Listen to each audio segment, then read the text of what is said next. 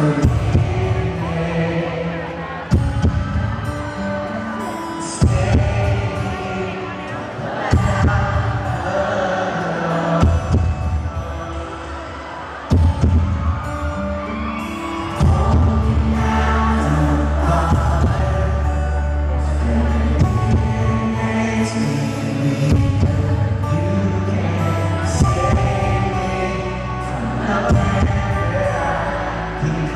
You guys have a good time tonight.